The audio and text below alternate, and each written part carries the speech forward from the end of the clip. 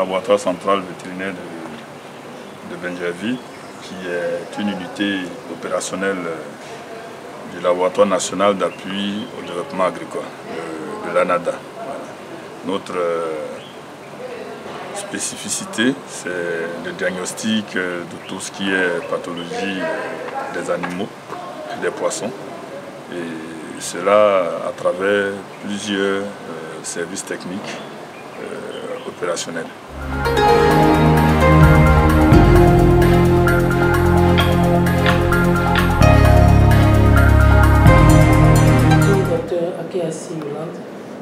Je suis vétérinaire et chercheur. Et je suis responsable de, ce laboratoire depuis 1999.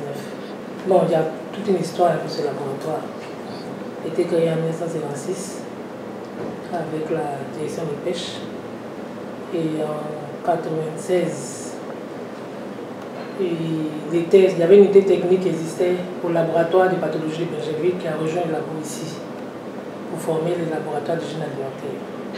en 1999, c'est devenu le laboratoire central pour l'hygiène alimentaire et l'agro-industrie. Donc quand vous regardez les noms, il y a le premier nom laboratoire de alimentaire a été enrichi avec Central. Le laboratoire a pour rôle d'assurer, de rassurer le consommateur par rapport à la qualité des aliments qui sont mis à leur disposition. Donc euh, on fait le contrôle des aliments qui sont euh, prélevés, des échantillons d'aliments qui sont prélevés par les services officiels d'inspection, qui peuvent être aussi bien du ministère de l'Agriculture, du ministère du, Commerce, du ministère des Ressources animales. On reçoit ces échantillons, les analyses. On peut avoir aussi des, échantillons qui viennent par le privé. Donc, un opérateur quelconque qui veut connaître un peu la qualité de son aliment ou de son produit. donc on fait les analyses. Bien sûr, oui. On a un catalogue de prix. On a les différents tarifs appliqués aux produits d'analyse.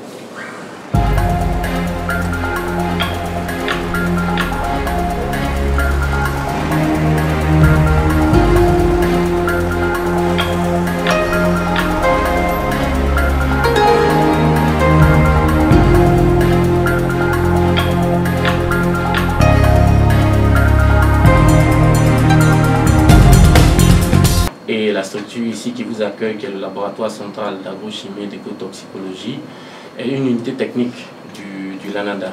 Ses objectifs sont trop de pouvoir euh, travailler, constituer une veille sanitaire sur non seulement les produits phytosanitaires qui entrent sur le territoire national, mais plus encore pouvoir travailler sur les produits alimentaires et agroalimentaires qui entrent et qui sortent du territoire national.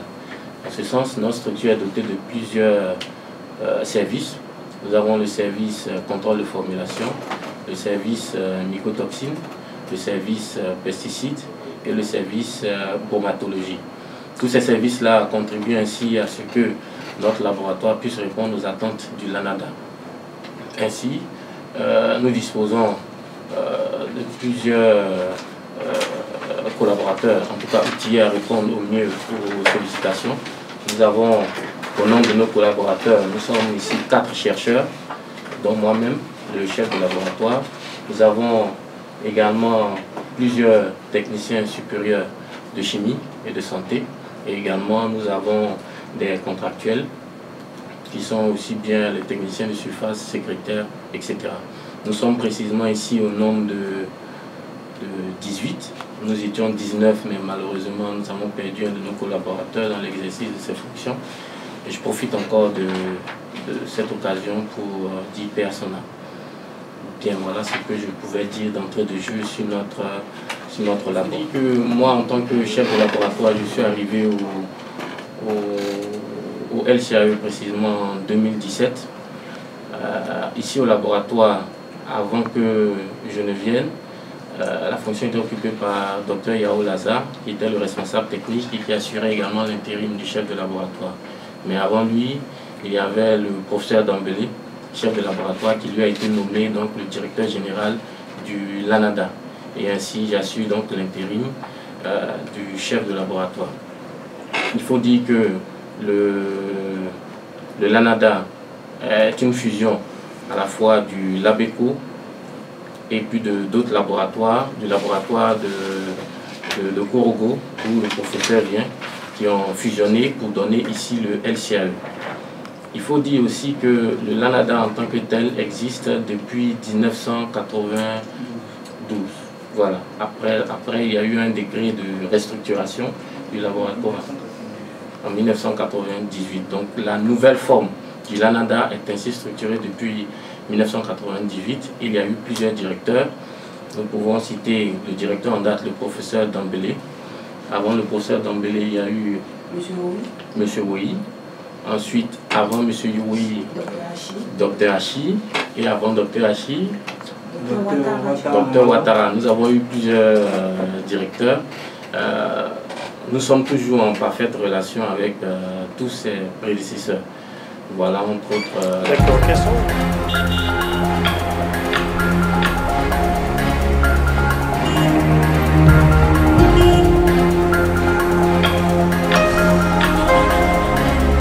Il faut dire que, je l'ai déjà précisé, que notre laboratoire vise à répondre aux sollicitations du ministère de l'Agriculture et des autres structures gouvernementales en matière euh, d'analyse des produits phytosanitaires, des produits agrochimiques et des produits alimentaires importés et exportés, et aussi ceux commercialisés sur le territoire national. Il est arrivé bien souvent qu'il y ait des intoxications alimentaires pour lesquelles nous avons été sollicités. Il arrive aussi qu'il y ait des produits phytosanitaires qui entrent sur le territoire national, qui peuvent être prohibés ou euh, en mauvais état. Notre objectif, c'est de nous assurer que tout ce qui est commercialisé sur le plan national euh, sont des produits de qualité.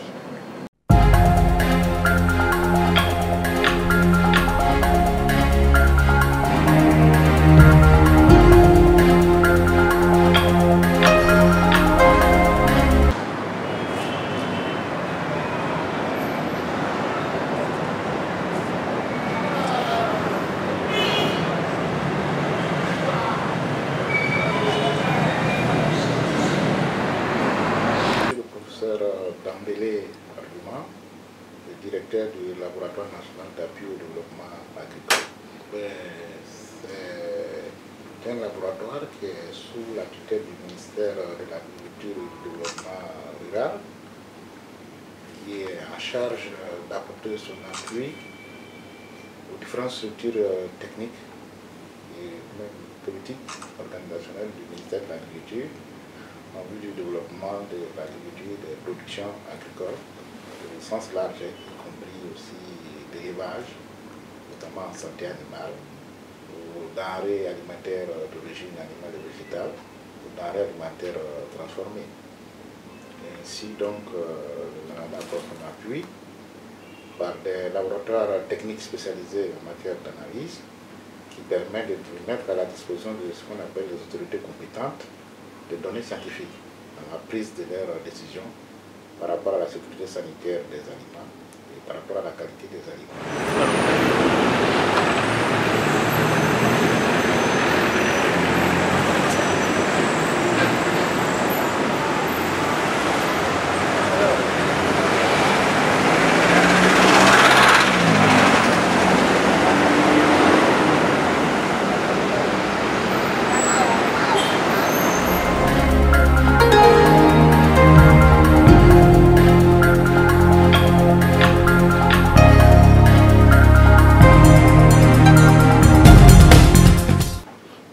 Prenons des cas plus faciles hein, pour euh, illustrer ce que je viens de dire. Euh, par exemple, le cacao. Le cacao doit être exporté, le cacao est transformé en chocolat. Le chocolat, est consommé par euh, la population pendant le petit déjeuner. Mais dans le cadre du processus de production du cacao, par exemple, il y a les cabosses, les cabosses on passe à la- au décapissage, les fèves, et puis les fèves vont séchées, et puis mises sur le marché, puis être transformées. Durant ce processus, il peut y avoir des contaminations. Par exemple, euh, ça peut être microbiologique, ça peut être chimique, ça peut être aussi ce qu'on appelle des mycotoxines. Et surtout les mycotoxines qui sont reconnues, on a par exemple l'ocratoxine A, les aflatoxines, les chinomysines, qui sont produits par des champignons microscopiques. Ces champions sont dans la nature. Lors du processus de transformation après fermentation et ça, il suffit que la, le mode de conservation présente euh, des, risques, par exemple le pic d'humidité, les champions vont se développer et puis produire des mycotoxines. Et ces mycotoxines-là vont s'installer dans la fève et s'ils atteignent certaines concentrations et sont consommés, ils vont provoquer ce qu'on appelle la cirrhose du foie. La cirrhose du foie, c'est le cancer du foie. Et ça va le plus loin même, entraîner ce qu'on appelle une déficience immunitaire. C'est-à-dire que lorsque les maladies les bénignes peuvent se développer et que la personne n'a pas un système immunitaire qui puisse euh, défendre son organisme. Euh, par exemple, il y a des cas aussi hein, de, de denrées alimentaires. Euh, dernièrement, nous avons étudié par exemple le cadre de transformation du sorgho en chapalo, qui est la bière commune.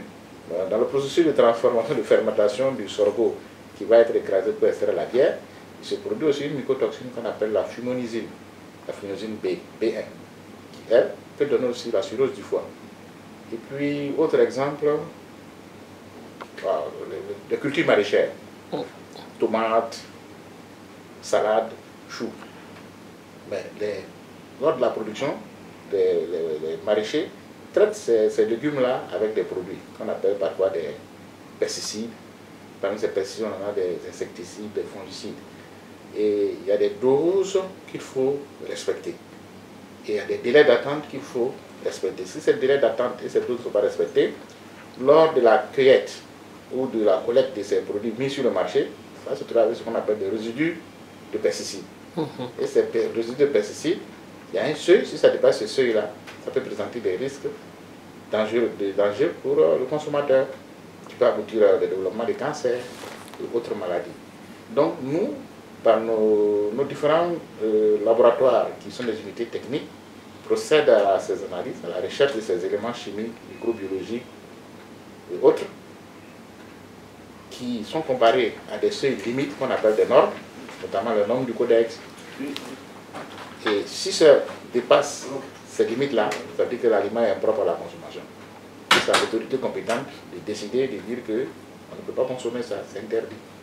Voilà à peu près schématiquement développé ce que je voulais dire par euh, laboratoire qui produit des données scientifiques qui sont mis à la disposition de l'autorité compétente pour la prise de décision. Il y a les données même de la, F, de la FAO, de l'OMS, estiment à plus de 80 à 90% des maladies que nous contractons viennent des aliments que nous consommons. Depuis simple diarrhée jusqu'à ce que j'appelle les cancers, à l'infertilité et euh, à la dépression immunitaire. Il y en a plusieurs. D'autres sont micro- micro-organiques, comme je disais, microbiologiques, et d'autres sont chimiques. Et même il y a la radioactivité qu'il faut pouvoir avoir aussi dans ce cadre-là.